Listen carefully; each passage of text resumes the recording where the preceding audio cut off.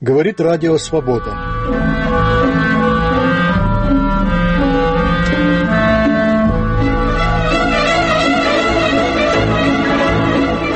В течение всего радиочаса вы будете слушать отрывки из выпусков передачи «Ваши письма», звучавших в течение 2010 года. У микрофона Анатолий Стрелин.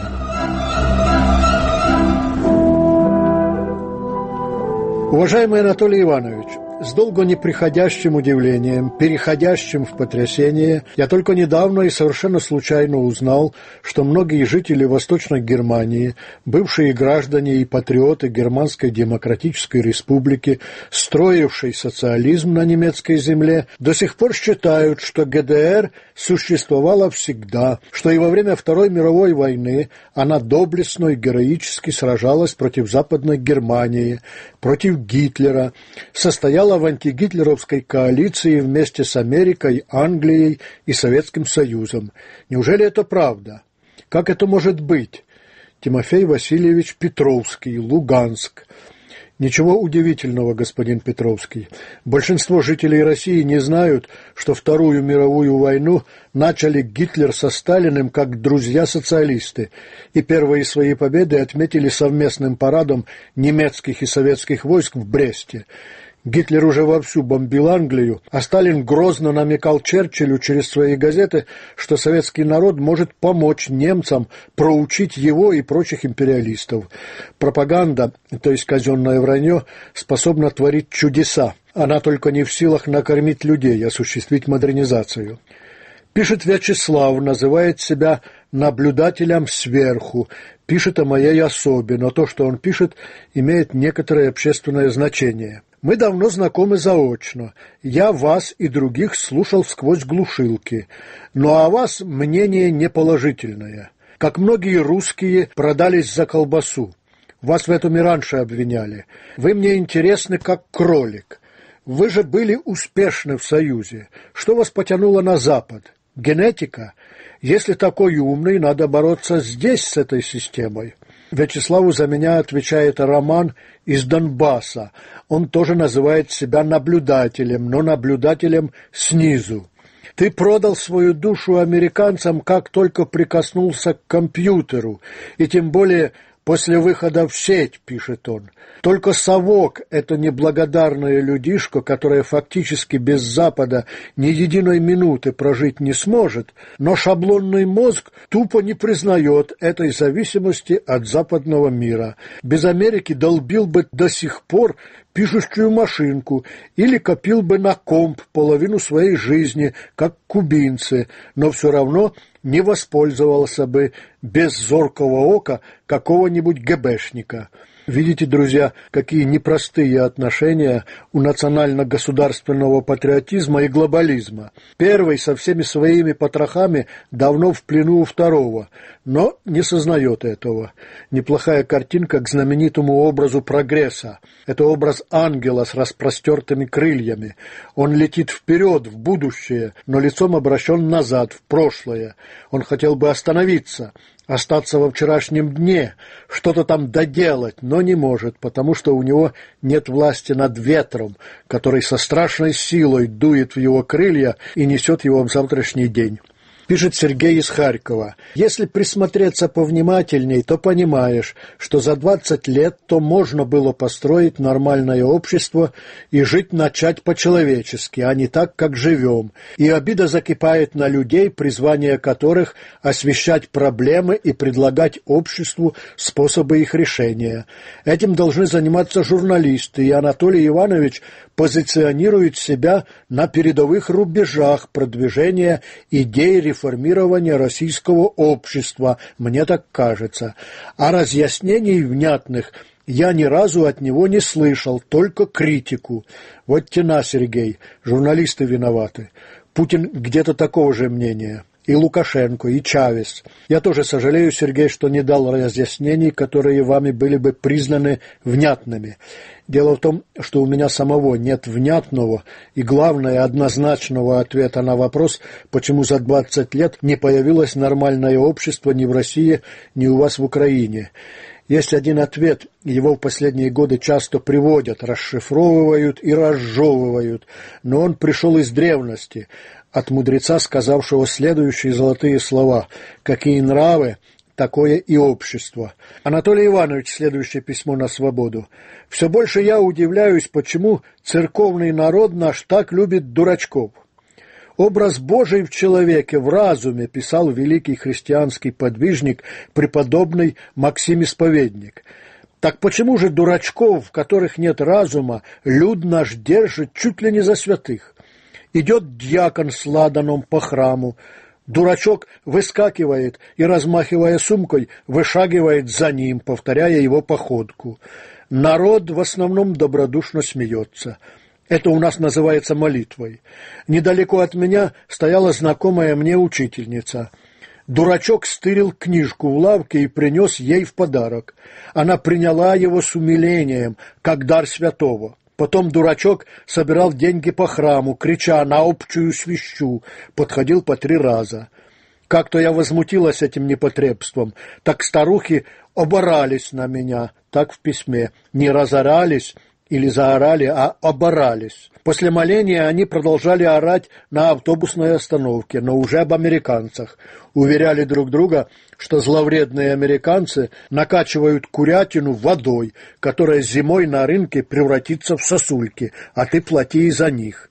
В другом храме, в селе Игумново, дурачок увязался за мной, ходил по пятам и хрюкал. Служба шла, как ни в чем не бывало. По-моему, очень интересное письмо.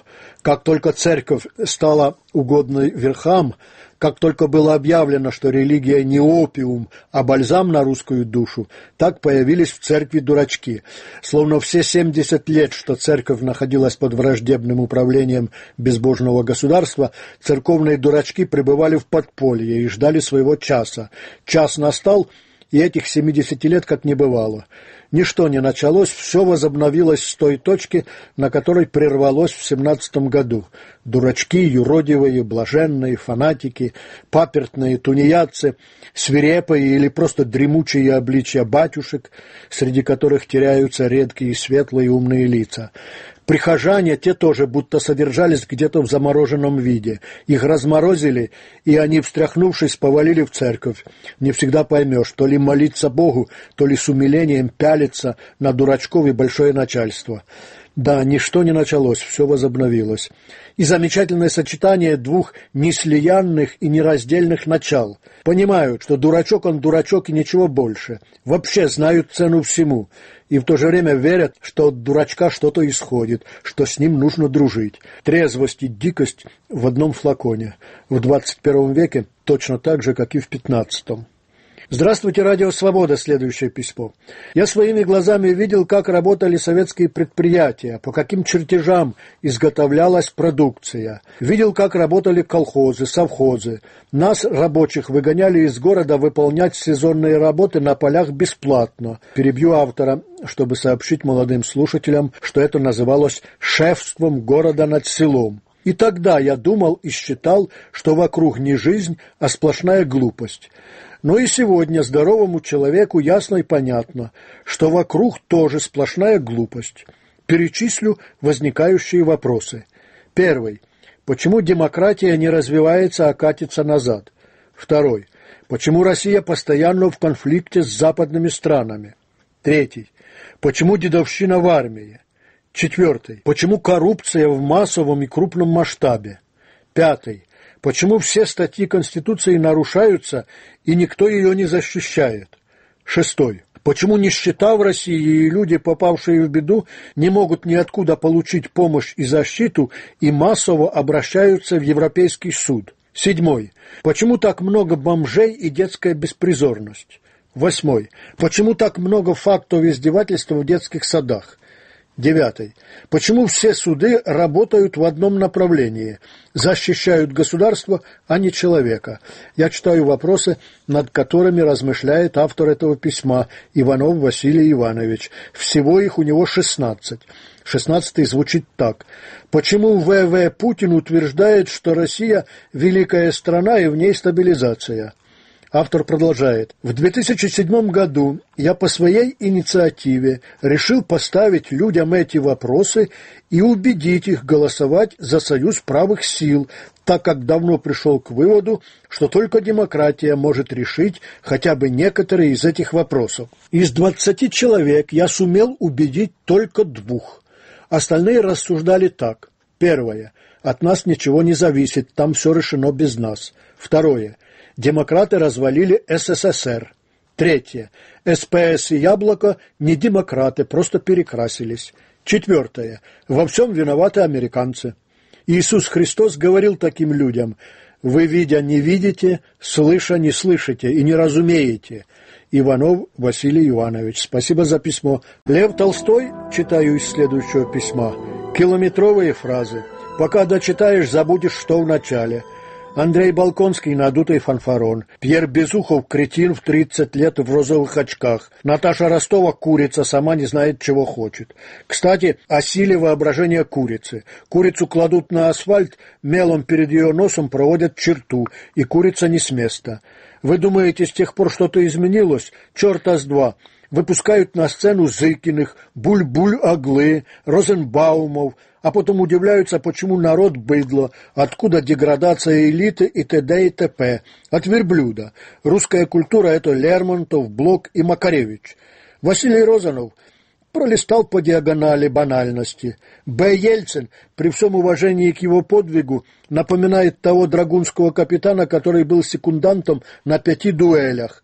Там закорючка, в пистолеты не положим пуль, тут загогулина, пресловутый сербский марш. Несчастные сербы, вероятно, и не поняли, кто и зачем к ним пришел. Американцы в русских мундирах. Позитив тоже есть. Вот вы не поверите, и я тоже глазам своим не поверил, но пришел как-то раз в сберкассу, уронил деньги на пол и не заметил, так какой-то мужик мне на это указал, причем сразу. Вступлюсь перед этим слушателем не за Толстого, он ведь не виноват, что его герои такие, а не иные, а за Наташу Ростову. Среди героев «Войны и мира» уж если кто и знает, чего хочет, так это она. Замуж она хочет, детей нарожать, заботиться, чтобы животы у них не болели. Когда получаю такие письма, Жалею, что не стал работать по своей первой специальности, учителем начальной школы. Днем возился бы с первоклассниками, а по вечерам вел бы литературный кружок у старшеклассников. Следующее письмо. Автора не назову, сейчас поймете причину. Читаю. Я с моей подружкой 23 года поступает в аспирантуру, они моя слабость. Вспоминаю киношного Моцарта, сказавшего во время примерки шляп, «Ну почему у меня не три головы?» вернулись давеча из Калифорнии. Были в долине Напа, в 30 километрах от Силиконовой. Здесь делают самые лучшие вина Америки. Калифорнийская долина Напа, между двух параллельных хребтов, идущих на 70 километров, располагается удачным образом к Тихому океану. Вход в нее открывается достаточно плоским побережьем и низким ущельем Сан-Франциского залива.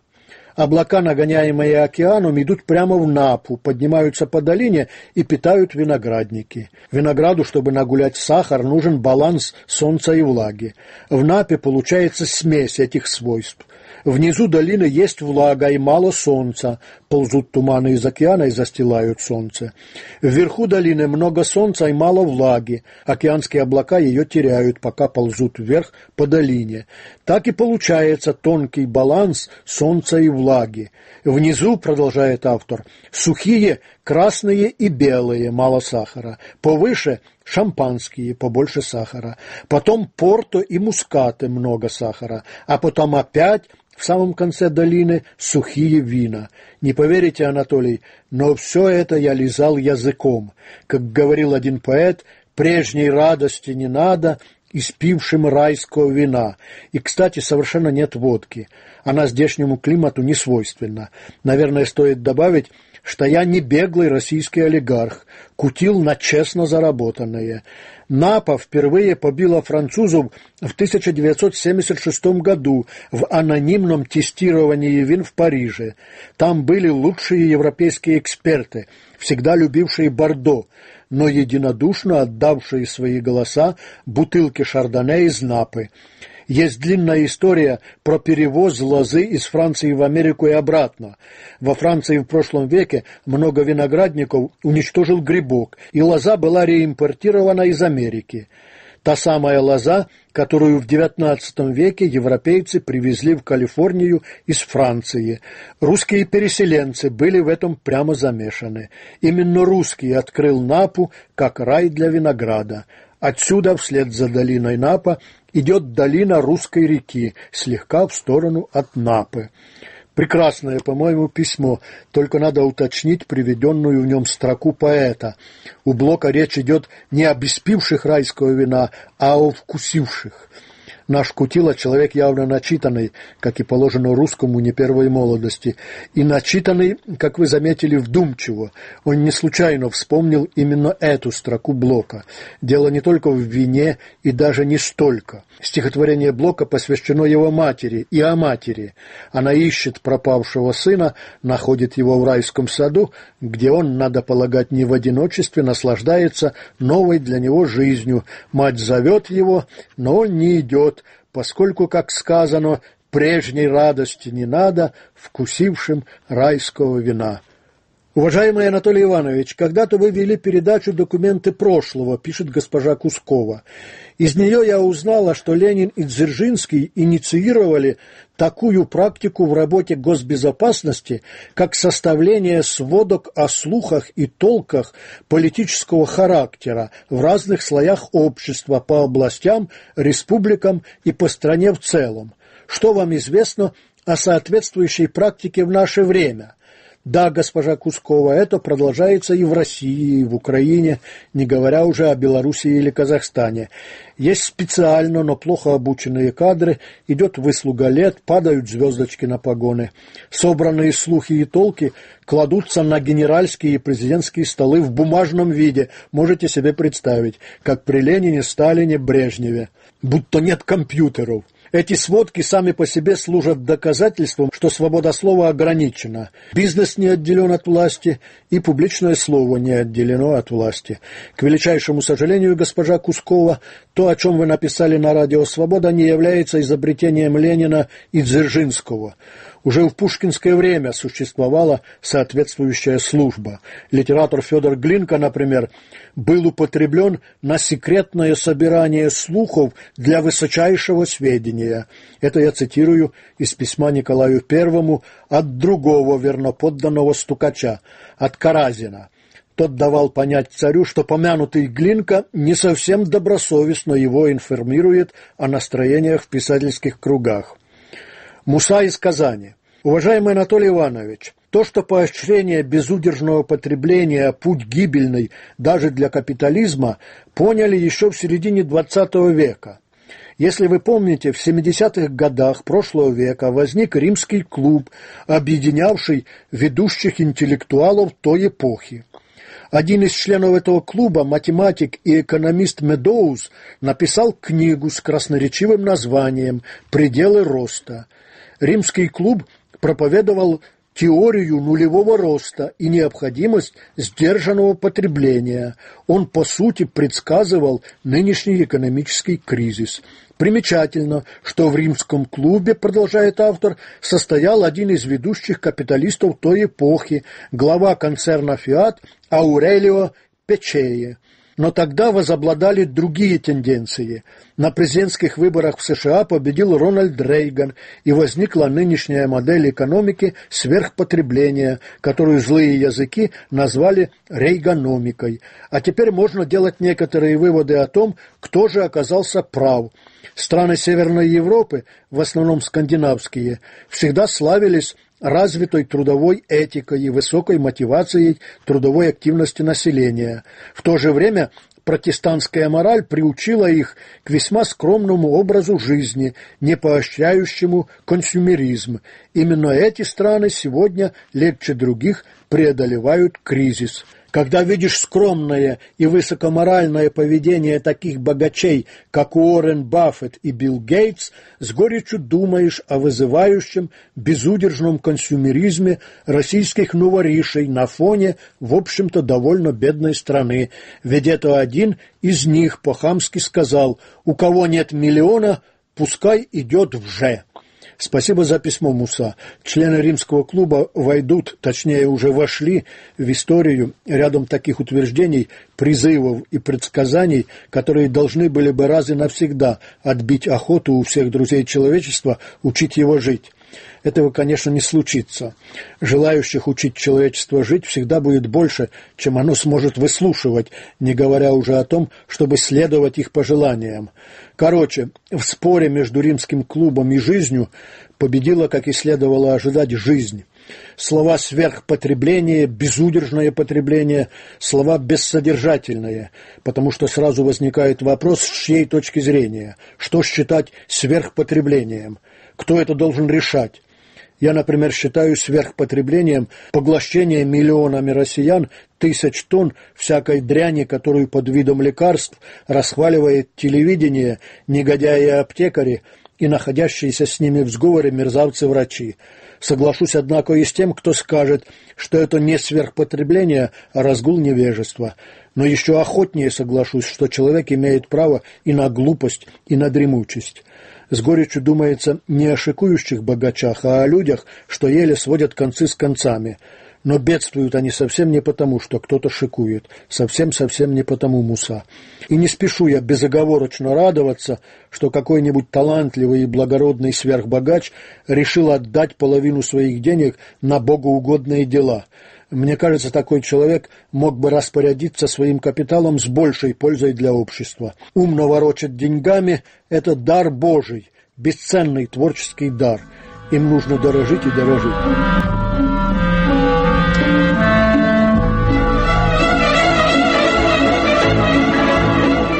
Радио «Свобода» у микрофона Анатолий Стреляный. В эфире отрывки из выпусков передачи «Ваши письма», которые шли в течение 2010 года. Дикость, Анатолий Иванович. Господи, какая дикость! Моя знакомая, преподавательница биологии, ходит в церковь, думаете, зачем? Чтобы подзаряжаться положительной энергией станет посреди церкви в аккурат под верхней точкой купола и стоит, как истукан с закрытыми глазами. Не молится, а просто стоит, задрав голову. Вокруг нее с недоумением ходит даже наш батюшка. А однажды догадался, в чем дело, подошел к ней и тихо говорит «Не люблю экстрасенсов». Но и это еще не конец. Она однажды вызвала дух Иисуса Христа, и тот ей сказал, что он не сын Божий, а обыкновенный человек, философ, и что его учению очень вредят его последователи. Вдумайтесь, Анатолий Иванович, получается, что в Бога она не верит, а к его церкви относится как к месту, где глупые верующие накопили огромные запасы положительной энергии, которую нужно использовать для улучшения здоровья. Щербаков, Подольск. С этим ничего не поделать, господин Щербаков, разве что улыбнуться, глядя на учительницу, которая ходит в церковь, как в баню, чтобы подзарядиться бодростью. Очень многие люди, может быть, большинство, верят не так, как учит Писание или священники, хотя чему там они учат, а как хотят. Каждый по своему вкусу, разумению, натуре. Это не совсем новая картина. Есть и опыт приведения людей к общему, так сказать, знаменателю, большой опыт. Лучше бы он был меньшим.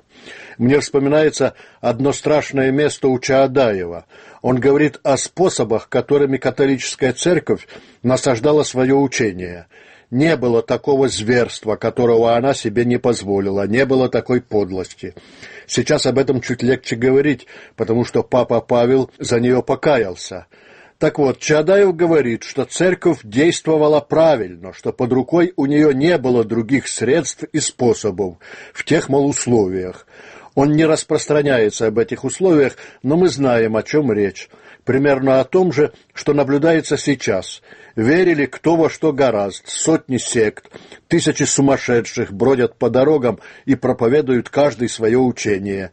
Внести какой-то порядок в умы, объединить людей можно было, мол, только огнем и мечом, угрозами и пытками. Другого языка те люди, мол, не поняли бы кончилось, как известно, тем, что церковь взяли, да и отделили от государства. Илья Запорожец прислал словесную картинку, которая заслуживает, по-моему, размышления. Читаю. Есть воспоминания, которые не важны, но при случае видятся такими яркими и длительными, что поневоле думаешь, здесь скрыто настоящее.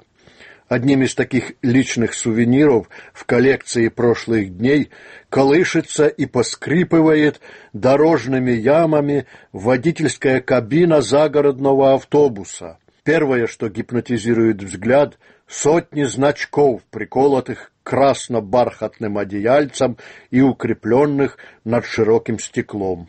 Это хоругви общественного транспорта, охраняющие своей множественностью и мельчайшей эмалевой мишурой салон автобуса и что в нем. Тут же подвешены вымпелы футбольных клубов и городов, остроконечные и прямоугольные. Периметр обзорного стекла венчает вывязанное атласными шелковыми нитками мягкое веко бахромы, шик и уют утраченных интерьеров. В глубине кабины огромный руль, оплетенный туго-белой пластиковой тесьмой, уже слегка пожелтевший до благородного оттенка слоновой кости. Рычаг скоростей одет в резиновый хобот до самого подбородья, плексиглазовой ручки, а в ней стиснут оптический обман красной розы. И нельзя не упомянуть, продолжает Запорожец, клетчатый старый плед на кожухе мотора, шерстяная забота о сердце и смысле движения. Советские водители – забытые боги, их собственноручные алтари, неисследованный культ дороги и табличка над портретом Высоцкого «Водителя во время движения не отвлекать». О чем можно размышлять в связи с этой картинкой Ильи Запорожца? О, есть о чем. Например, о влиянии Запада даже на советскую жизнь, которую самым тщательным образом огораживали со всех сторон. Собирание значков, например, и флажков началось в 1957 году, в дни Всемирного фестиваля молодежи и студентов в Москве. Само понятие сувенира западное, что видно из слова. Уж не говорю о таком пустяке, чуть его не забыл, как автомобиль вообще и автобус, и не просто автобус, а рейсовый. Это все тоже западные выдумки. Прообразом рейсовых автобусов послужили английские пассажирские дилижансы. Они впервые описаны у Карамзина в письмах русского путешественника пишет Сергей Магарил из Российского государственного гуманитарного университета. Из ваших передач узнаешь немало нового и неожиданного о России и ее народонаселении, о том, как оно мыслит. Давно известно, образ мысли определяет образ действий, массовый образ мысли определяет массовый образ действий. Народ живет так, как научился мыслить. Таким вступлением автор предварил пару своих опусов его слова о том, что определяет историю и современность России. Историю и современность России определяет, по его мнению, невежество верхов и большей части интеллигенции. Магарил составил и сопоставляет две подборки – Одна подборка, что конкретно испокон веков делалось для удушения образования. Во второй подборке суждения известных русских людей о невежестве как причине отсталости страны. Думаю, многим будет полезно услышать, что говорил сто лет назад Владимир Соловьев. Ему, русскому народу в лице его интеллигенции, кажется, что все соседи его обижают, недостаточно преклоняются перед его величием, и всячески против него злоумышляют. Если несчастный останется при своей мании, то ни деньги, ни лекарства не помогут. На Магарила произвело большое впечатление суждение одного нашего современника-англичанина. Это Теодор Шанин, знаток российского прошлого и настоящего. Одной из особенностей России, которая особенно видна мне как иностранцу, говорит он, является та мера, в которой российская интеллигенция думала через литературу, больше через литературу, чем через социальные науки. В XIX веке очень многое из того, что в англосаксонских странах определялось через социальные науки, социологию, экономику и так далее, в России определялось через русскую литературу. Не знаю, что происходит с вами, друзья, а у меня, когда слышу такие вещи, горят уши. Зачем нам чему-то учиться, когда можно читать романы наших великих писателей, дневники и письма в придачу, и стихи наших гениальных поэтов? Дни настают борьбы и торжества, достигнет Русь завещанных границ, и будет старая Москва, новейшую из трех ее столиц доктор философии Ольга Малинова много лет докапывается, почему многие вроде бы образованные люди из поколения в поколение доказывают стране и миру, что Россия – родина слонов – Работы современных российских авторов, замечает Малинова, изобилуют цитатами из трудов Чадаева, Славянофилов, Кавелина, Достоевского, Данилевского, Ключевского, Леонтьева, Бердяева и других мыслителей XIX – начала XX веков, рефлексировавших в русле исторических традиций русской общественной мысли с присущей им умозрительностью, принципиальной неориентированностью на процедуры верификации – принципиальная неориентированность на процедуры верификации – это приговор, и приговор беспощадный. Это вот что, если сказать просто. В голову, которая вроде бы и ученая, и вместительная, не приходит мысль, хоть иногда сопоставить родившуюся в ней идею с тем, что говорит наука, да просто свериться с действительностью, с ее нуждами. Витаем в облаках. Если бы Николай Васильевич Гоголь прежде чем заявить, что по-настоящему мужику не следует и знать, есть ли какие-нибудь другие книги, кроме святых, представил себе, какой будет артиллерист из такого мужика, люблю этот пример, он бы все-таки, наверное, придержал перо. Ориентироваться на процедуры верификации – дело не очень простое. Это не то, что что залетело невзначай в голову неизвестно откуда, то и лепишь, не удосужившись проверить, какое оно имеет отношение к действительности. Каждому нравится его выдумка, а кому охота отказываться от того, что нравится. Думать, что Россия покорит и спасет мир, нравится. Это и сидит в голове, не требуя ни малейшего подкрепления. А то, к примеру, что первая стиральная машина была изготовлена на Западе, и произошло это в год отмены крепостного права в России, не нравится, и в голове это не держится. Да и не в стирке счастья учит поп. Отцы-пустынники и девы непорочные не этим были заняты, они молились. Прочитаю письмо от женщины, которой уже нет в живых. Я армянка, вернее, я бакинская армянка. Это мой город. Люблю его горячие камни. В детстве я сбрасывала сандалии и шлепала по согретой солнцем шлифованной глади мостовой. Маму почти не помню. Папа заботился и баловал меня. Он был врачом, видимо, хорошо зарабатывал, так как лечил первых лиц республики. Жили мы благополучно. Нас окружали добрые соседи, и мы вечно сновали из квартиры в квартиру друг к другу, то угощая, то угощаясь. Все, что у отца оставалось от заработка, он тщательно размещал на сберегательные книжки для будущего своей дочери. Я стала биологом, соавтором трех сортов пшеницы.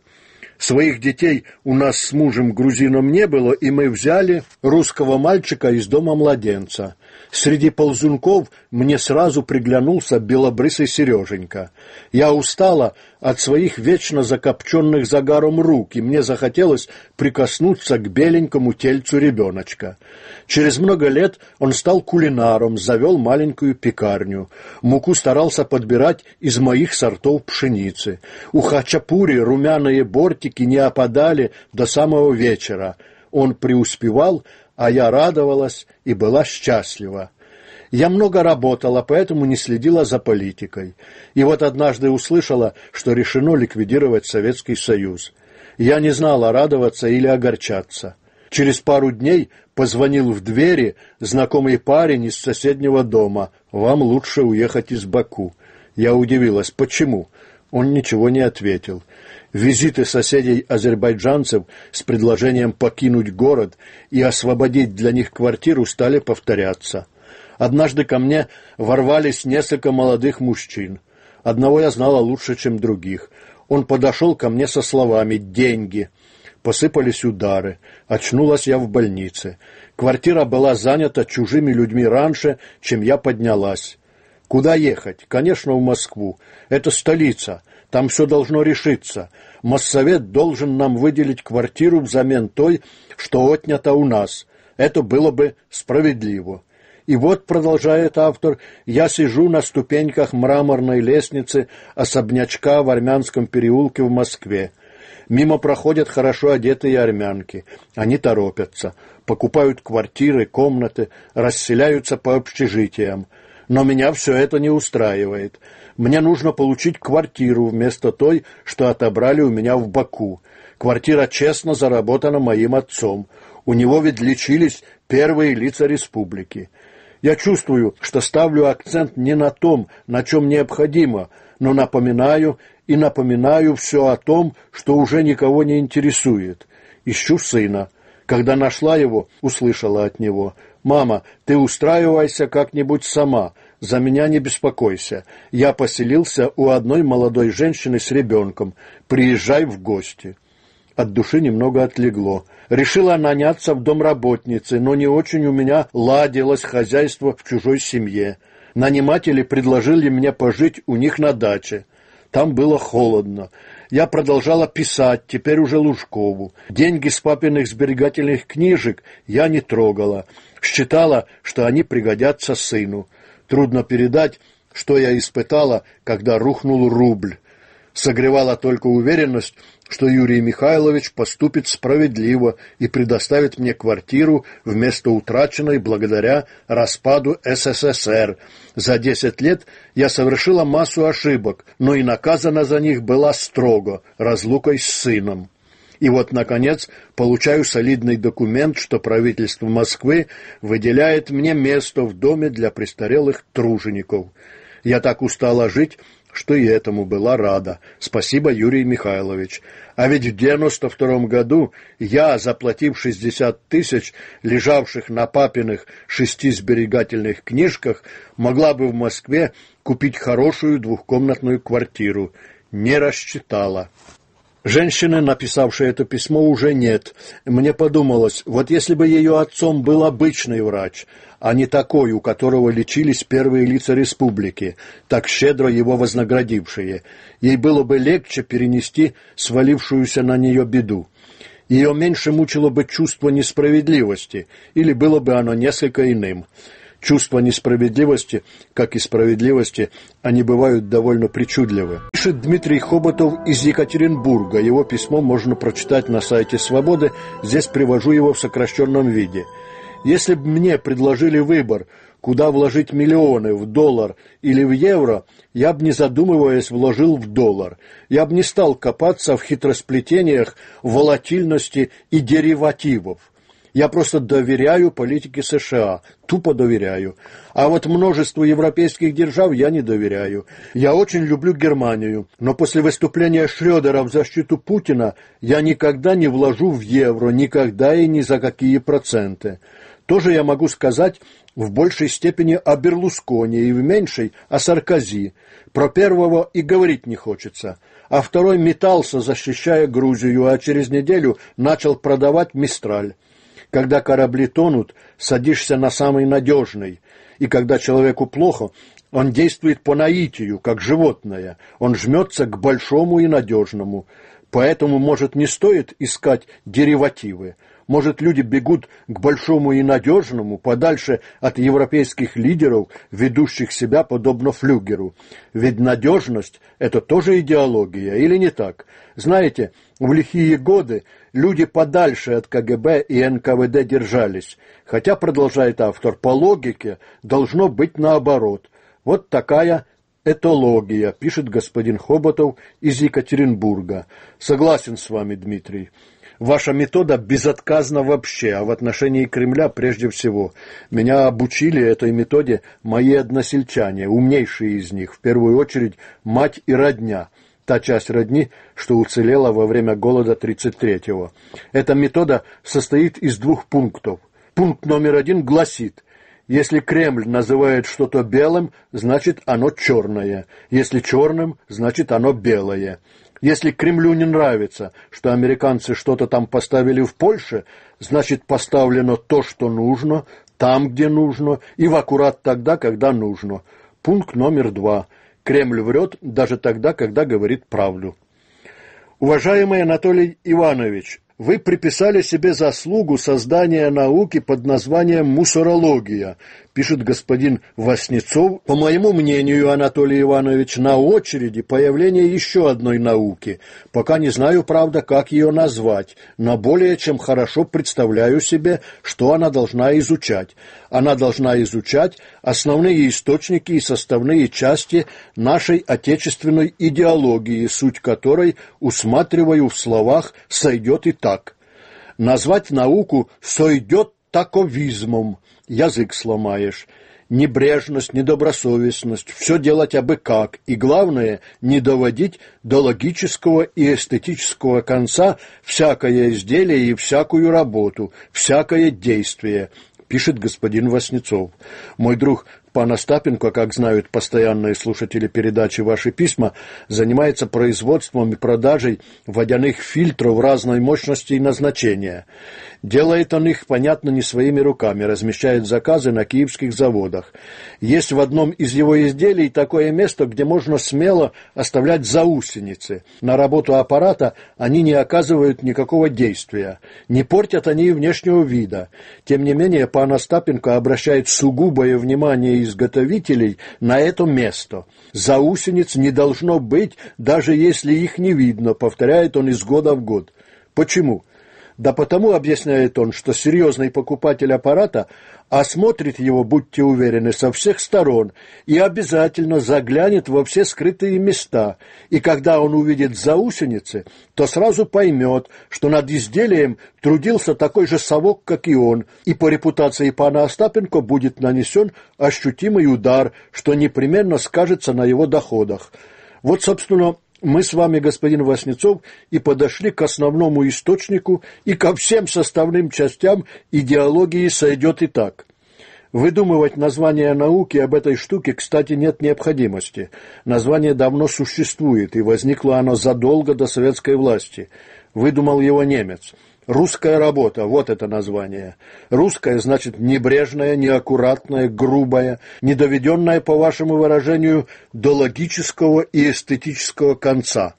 Работа русская, но натура русская, национальность русская тут, по-моему, не так уж при чем, и подтверждение дано той же Германией, ее восточной частью, той, которая была социалистической и называлась Германской Демократической Республикой, ГДР – ГДРовский немец был и во многом остается признанным мастером русской работы. Не потому, что он немец, а потому что ГДРовский. Не потому, что русский по крови, а потому, что жизнь его была такая на протяжении столетий. Что значит «такая»? Не рыночное и подневольное, что, в общем, одно и то же. Он не работал ни на себя, ни на рынок, а в лучшем случае на дядю. Он не выходил со своим изделием на рынок. Его благополучие не зависело от того, купят ли его изделие. Он работал на барина, на правительство, на гражданина-начальника, на план. Он не имел дела с покупателем. Следующее письмо. Я уже просто неработающий пенсионер, скоро 71. Прожив 55 лет в Латвии, не гражданка. Я не пойду унижаться и сдавать экзамен в кавычках. У меня есть уже свидетельство о знании языка. Необходимо было сдать экзамен по языку в свое время, чтобы остаться за лабораторией информационных систем. И гимн я могла бы спеть, он мне даже нравится. Он почти точная калька со старого русского гимна. Там было «Боже, царя храни», а у латышей, похожий на пев, все ударения на первом слоге, «Диеве свети Латвию». И многие программы ТВ я смотрю на латышском языке спокойно, но до сих пор не могу успокоиться, вспоминая, как Народный фронт кинул русских. Дескать, идите на референдум, поддержите выход Латвии из СССР и прочее, а потом, а теперь вы все не граждане. Какая гадость! Всего доброго вам в год тигра. Будьте здоровы. Я люблю ваши письма. Продолжайте с нами говорить человечьим голосом и дальше. Ирина Попова. Большое спасибо, Ирина. Содержание того, что я говорю человечьим голосом, сам дух того, что говорю, вам, казалось бы, не должен нравиться. А вот нравится же. Вижу тут загадку русской души в Латвии. Весьма загадочная душа, весьма. Не лежит к латышам, к их власти, к их демократам в первую очередь. А к Латвии как таковой лежит, хорошо лежит. В Россию переселились единицы из носителей этой души, буквально единицы. Можно, оказывается, любить страну, а людей этой страны не очень. Местность и все, что на ней, даже многие порядки, любить. Держаться за них руками, ногами и зубами. О хозяевах этой местности, о создателях этих порядков писать на радио «Свобода». Какая гадость! Загадочная душа, ей-богу. Лучше буду страдать без латвийского паспорта, но в Латвии, чем ликовать с российским паспортом, но в России. Латвия, напомним себе, была оккупированной страной. Такой ее считал свободный мир, такой она и была. Половину ее населения составляли те, кто пришел в составе или в обозах оккупационных войск. Не в переносном смысле, а в буквальном, в составе или в обозах оккупационных войск. Они стояли там до последнего дня, и еще как стояли. Не четверть, как в Литве и Эстонии, а половину населения составляли пришельцы, их дети и внуки. Они считали, что настоящие хозяева Латвии они. Уж я-то это знаю, бывал там не раз. За их спиной огромное государство с ядерным оружием и хоругвью, на которой Сталин. Вот латыш и задумался, что будет с его страной, если управлять ею с ним на равных станет человек, для которого земля по-прежнему начинается от Кремля.